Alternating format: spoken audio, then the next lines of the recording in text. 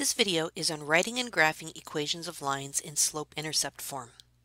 Recall that slope-intercept form of an equation of a line is y equals mx plus b, where m is the slope of the line and b is its y-intercept. That is, where the graph of the line crosses the y-axis. So for example, in the linear equation y equals negative 2 fifths x plus 4, it has a slope of negative 2 fifths and a y-intercept of 4. That is, it crosses the y-axis at the point 0, comma 4. To graph an equation of a line in slope-intercept form, we want to begin with the y-intercept, which is the b, and move with our slope, which is the m. So let's do an example here. So let's go ahead and graph that y equals negative 2 fifths x plus 4. Notice my b, my y-intercept is 4, so I'm going to start at 4 on the y-axis and put a point right there because that's my y-intercept. Now my slope of negative 2 fifths, I can actually put that negative on the top if I like, or I can put it in the denominator.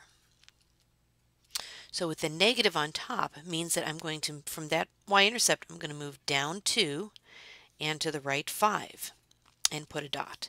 And I can continue to go down 2 and right 5. If I think of the slope as a positive 2 over a negative 5, that means I'm going to go up 2 and right 5, up 2 and right 5. And you can see it doesn't matter which way you do that. You're going to end up with points on the line either way and then connect those points and there's your line graphed.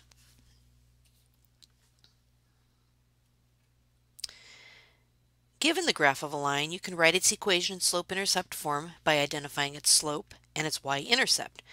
So here we have an example that says write an equation in slope-intercept form of the line that is graphed below. So what I want to do is I want to identify what is my m and what is my b. Well, b is probably the easiest. That's your y-intercept. So that's going to be the point negative 3, because that's negative 3 on the y-axis. Now for my slope, I think the easiest way to do this is just to count. Don't pick two points and calculate the slope. Just count between any two points. So starting at the y-intercept, if I need to get to this next point to the right here, I've gone up 2 and right 3. Up 2 is a positive 2, right 3 is a positive 3. If I had chosen to go the other direction, let's say from my y-intercept to this point to the left, I would have gone down 2 and left 3. Well, down is a negative 2 and left is a negative 3 and a negative over a negative is a positive. So my equation of the line is going to be y equals my m, which is 2 thirds, x, plus my b, or minus 3.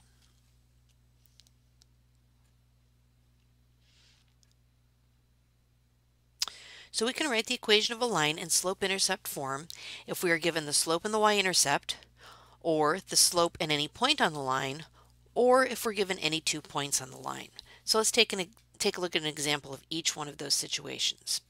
So here we have, write the equation of the line in slope-intercept form that has a slope of negative 3 fourths and a y-intercept of 7. So I know my slope is negative 3 fourths. I know that my y-intercept is 7. So I'm just going to plug those numbers into y equals mx plus b. So y equals negative 3 fourths x plus 7. That's probably the easiest case when you're given the slope and the y-intercept. Second example here says write the equation of a line in slope-intercept form that has a slope of 2 thirds and passes through the point 9 comma 2. Well, I know that my slope is 2 thirds, but I don't know what my y-intercept is. But I can find that. So if I start with y equals mx plus b, I know that my slope is 2 thirds, and I know that a point on the line is 9 comma 2. I know that 9 is an x on the line, and 2 is a y coordinate, y point on the line, so I just plug those in for y and for x, and now I can solve for b. So 2 is equal to 2 thirds times 9 is 18 over 3 or 6 plus b and then subtracting 6 on each side. b is equal to negative 4. So I have the equation y equals my m, which is 2 thirds, x plus b, which is negative 4. And my last example here asked me to write the equation of the line in slope-intercept form that passes through the points negative 2, 13, and 3, negative 12. So I don't know what my m is, and I don't know what my b is, but I can actually find both of those. Let's start by finding the slope.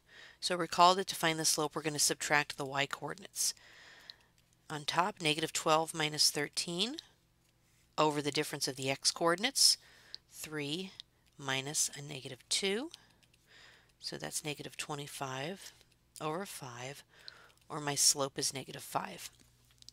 Now I'm going to do this as I did the problem up above, using y equals mx plus b, and I can choose either point to plug in for my x and my y. Maybe I'll just go ahead with the first one here. So y is 13, my m is negative 5, the x coordinate at that point is negative 2 plus b. Now I just solve this for b. So 13 equals 10 plus b. b is equal to 3.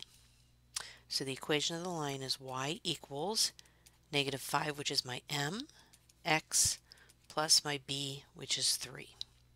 So in this video, we took a look at how to write and graph equations of lines in slope-intercept form, which is y equals mx plus b.